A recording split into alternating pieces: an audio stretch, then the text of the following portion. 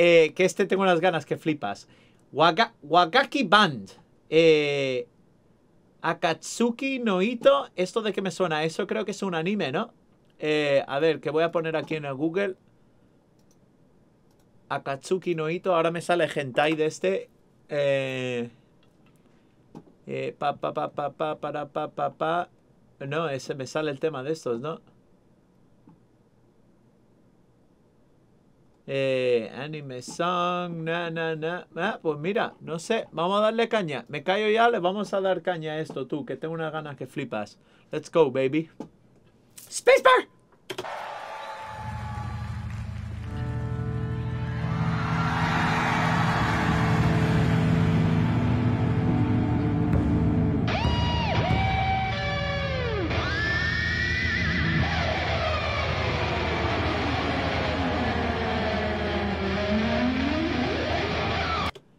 Espérate, Akatsuki, ya me acuerdo. Akatsuki no eran. Eh... Akatsuki no era algo de Naruto o algo así. Eh... No era como la, la- Yo qué sé, los malos. no- sé si eran los malos. Yo qué sé, yo ya me pierdo ya con tanta. tanto anime.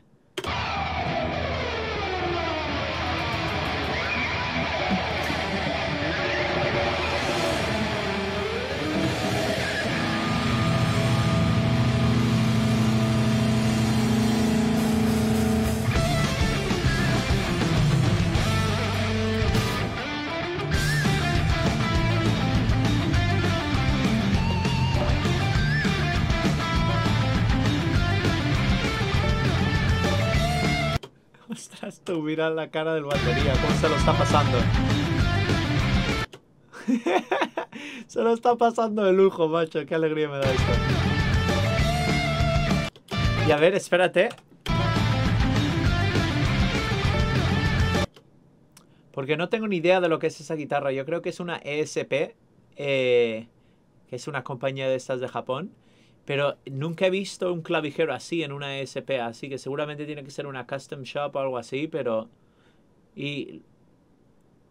Casi parece hasta barítona, ¿no? Eh, de lo larga que es. Eh,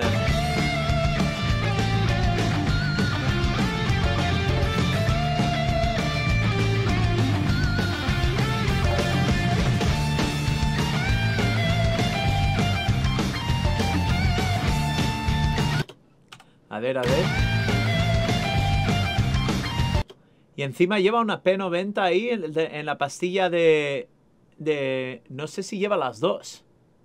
Flipas, qué guitarra tú.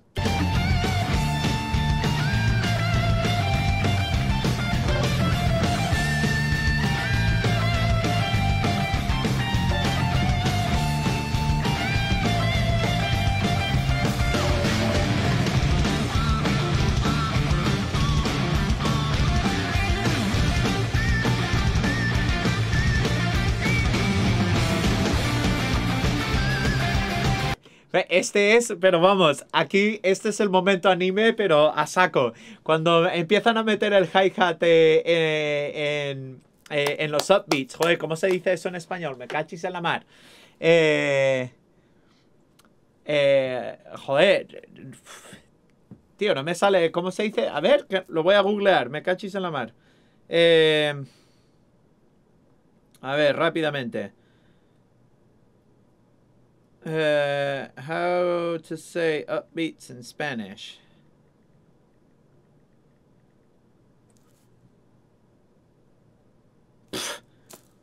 Es que te lo prometo, el, Google Translate este no, es, una, es una mierda. Todo tiene que ser literal, ¿no? Eh... Madre mía, y ahora están poniendo aquí, yo pongo upbeats y me está poniendo aquí cómo darle una paliza a alguien, básicamente. How to beat up someone. No, venga ya, qué locura es esta tú. Eh, bueno, seguimos aquí. Ah, pa, pa, Sí, los contratiempos, sí, a contras, sí, perfecto. No existe una palabra literal, sí. Pero sí, cuando. A lo que iba, que estoy aquí, que, se me está yendo la cabeza tú. Eh, pero no sé si, si muchos seguís aquí animes, pero en casi todos los animes que tienen una, un rollo así heavy, instrumental o lo que sea o algo así, eh, en las openings siempre tiene una parte de, de guitarras de melodías que flipas y todo eso. Eh, y luego tienen ese hi-hat a contratiempo, ¿no? Muy que lo oyes también mucho en el Sky y todo eso.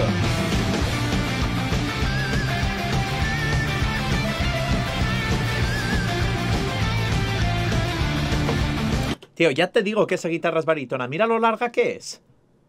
Eso tiene que ser por lo menos 30 o 32 pulgadas. Y la escala normal de una guitarra es 25,5. Al menos Fender. Gibson hacen 24,75 o algo así. Eh, incluso más si me, si me aprietas, ¿eh? Qué pasada de guitarra, tú.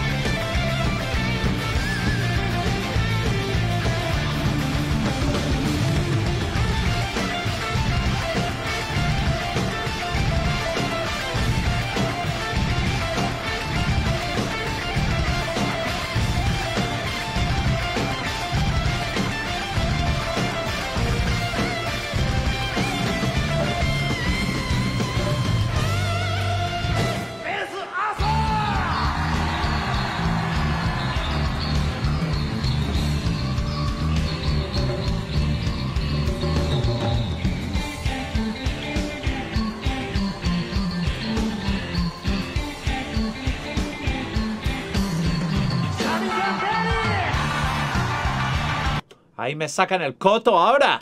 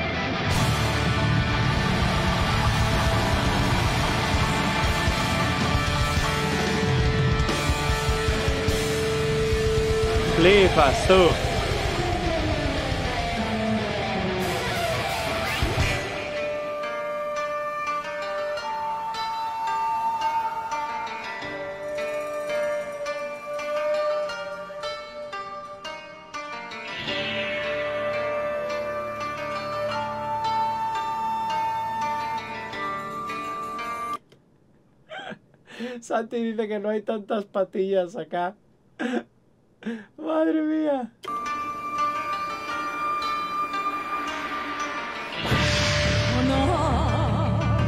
İran eva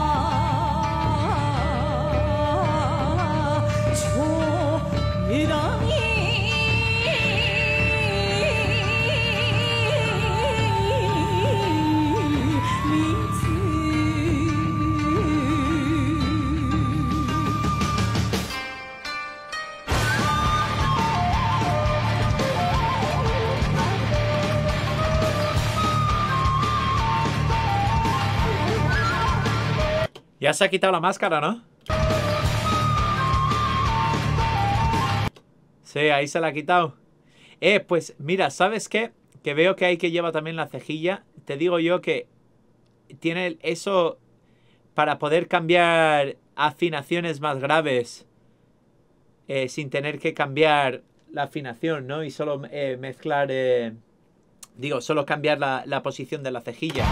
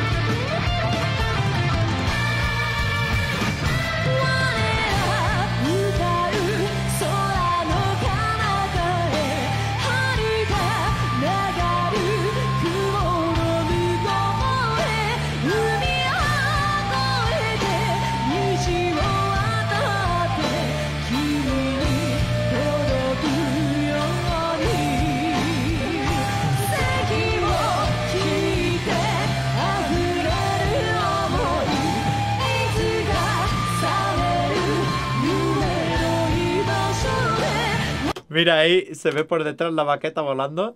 Eh, la baqueta volando del batera por ahí detrás.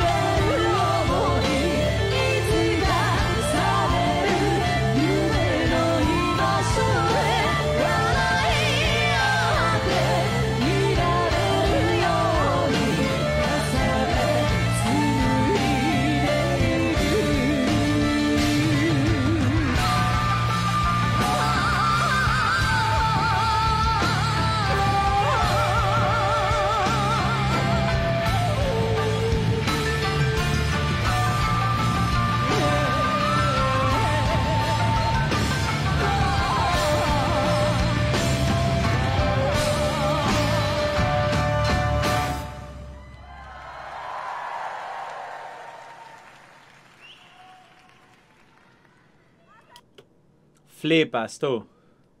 Qué pasada, macho. Qué pasada. Han sacado ahí de todo. Eh, aporta aparta cuántos instrumentos. Pues desde luego, guitarra, bajo, batería, luego había percusión, luego estaba la cantante y luego habían tres instrumentos tradicionales japoneses, ¿no? Eh, qué flipe tú, me ha encantado a mí eso. Eh, además que eso, me han entrado ganas de ver ahí anime que flipas, ¿no?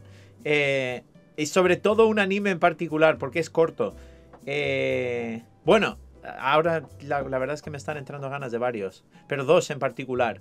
Uno, uno que se llama Sakamichi no Apollon, o Apo, no lo voy a decir en español, porque es A-P-O-L-L-O-N. Eh, eh, Kids on the Slope, traducción en inglés. Eh, pero es bestial porque la, banda sonora está compuesta por, por Yoko Kano, que es la que hizo Cowboy Bebop. Y luego la banda sonora son todos estándares eh, de jazz. Y nada, son nueve o diez episodios y es eso, ¿no? Como Japón post Segunda Guerra Mundial o algo así, ese de tiempo, ese periodo. Son dos chavales que se encuentran en el colegio y empiezan a tocar jazz juntos. Es, es un... ¡Mua! Es... ¡Mua! Y luego otra que también está compuesta la banda sonora por Yoko Kano casi digo Yoko Ono. me cachis en la mar. Eh, pero se llama ah, Terror in Resonance. No, no, me acuerdo cómo se llama en japonés. Eh, pero es de esto de dos chavales, ¿no? Que son súper jóvenes, eh, en plan terroristas o lo que sea. Están como creando eso, terror en, en, en Tokio o lo que sea, pero nunca nunca matan a nadie ni nada, solo quieren como cambiar el mundo. Yo qué sé, es una pasada. Y la, banda sonora es un flipe eso. Eh, ¿Aporta o aparta? Sí, voy a decir Apolón. Apolón, no voy a decir nada más. Eh, eh, pues bestial estuvo esta banda. Y además una cosa que, lo, he lo estaba pensando constantemente, sí, una cosa que, que he estado dándole vueltas yo mucho con mi banda, ¿no? Eh, y, yo qué sé, viendo bandas como esta, eh, me hacen recordar y, a, por ejemplo, a Mago de Oz, ¿no? Por ejemplo, en el mundo hispano-latino y todo eso. Eh, que aparte de que tengan una, música guapa, ¿no? es que tienen una puesta en escena increíble. Y yo creo que, cualquier persona, yo qué sé, tiene que ser una persona que, que sea, yo qué sé, tienes que odiar mucho la vida para no, ir a un concierto de esto y, al menos pasártelo bien, ¿no? Aunque no te guste la música, pero la puesta en escena y, todo lo que está pasando y toda la peña ahí, yo creo que... Y lo mismo pasa como con un concierto de Mago de Oz, yo creo. Eh, y, es algo que, yo creo que es, en, inglés decimos food for thought, ¿no? Comida para pensar, o yo qué sé, no se traduce literalmente muy bien. Pero es algo que, yo creo que, muchas bandas deberían de empezar a pensar también, que, que, no, es, que no es todo la música. Eh, desafortunadamente hoy en día, que ya no puedes conquistar a un público simplemente solo por la música, ¿no? Eh, creo que hay muchos factores que, que están en juego y, tienes que empezar a pensar que, tu banda o tú como artista ya, ya no solo es eso, ya no estás creando solo arte, pero tienes que crear un poco de entretenimiento también, ¿no? Y creo que bandas como esta, obviamente, lo están haciendo, bandas como The Mago de Oz también lo están haciendo. Eh, y no sé, es algo que me parece interesante. Yo siempre le estoy dando vueltas, ¿no? Eh, porque obviamente estas bandas o Mago de Oz, por ejemplo, tienen, tienen muchísimos más dinero, entonces pueden poner un show más espectacular, ¿no? Pero eh, es lo mismo que con el cine. Hay gente que ha hecho unas películas de la leche con casi nada de dinero. Yo creo que también puedes hacer lo mismo con, con tu banda, ¿no? O como un artista. Hay varias maneras de ser creativo para varias maneras creativas para intentar entretener a, un público, ¿no? Eh, pero bueno, que he visto aquí un comentario de, de Zetas rápidamente. Eh, que dice, y, lo sé, Fully Cooley es un anime corto que puede o no gustar porque es muy raro, pero por la música vale la pena. Ya, te digo, Fully Cooley es que es la leche ese anime. Lo recomiendo a todos también. Ahora, pues ese igual es el que me... Uh, es igual. Yo qué sé. Ese igual. Ese igual cae esta noche, eh. Fully Cooley. Eh, hace tiempo que no lo veo. Eh, pero sí, oye.